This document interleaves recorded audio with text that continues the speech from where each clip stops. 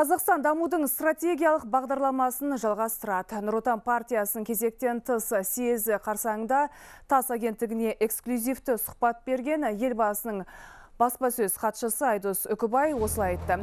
Қауіпсіздік кеңесінің әрі Нұр отан партиясының төрағасы үшін азаматтардың әл ауқатын арттыру және Қазақстанның өркендеуі жұмысының басы бағыттары болып қала береді. Елбасының алдағы қадамдары осы айқындалған міндеттерді орындауға бағытталады деді Айдос Үкібай.